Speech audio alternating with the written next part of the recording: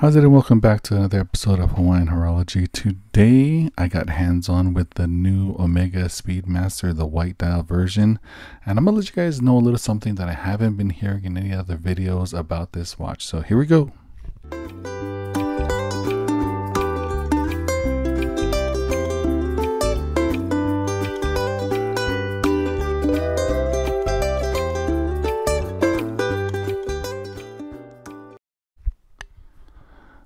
So I stopped by the boutique today just to take a look at the new uh, Omega Speedmaster, the new lacquer white dial.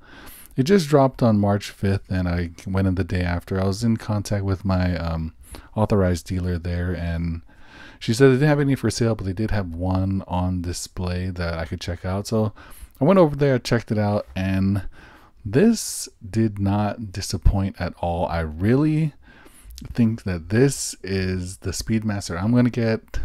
I made a video earlier um, asking for all your guys' help to help me choose between the Hesalite or the um, Sapphire Sandwich, but I'm actually glad I didn't purchase it when I kind of wanted to purchase it. I was going to get the Sapphire version, but looking at this dial, this new colorway, it is actually the watch that I've been waiting for. It has some of the things that I thought the other Speedmasters were lacking. Like if you look at these side by side, they are very different.